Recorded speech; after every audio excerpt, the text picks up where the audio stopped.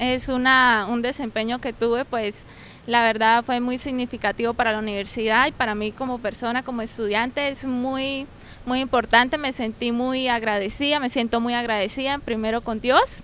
Eh, con eh, toda la, la, preparación que tuve por parte de mis profesores de la carrera Tecnología Química. Actualmente pues soy egresada, me gradué el 24 de junio de este año y pues estoy muy feliz la verdad porque con ello puedo tener algunos beneficios por medio por parte del Ministerio de Educación Nacional. Presenté en el 2014 cuando miré los resultados vi que estuve por encima del promedio nacional aproximadamente 3,5 puntos.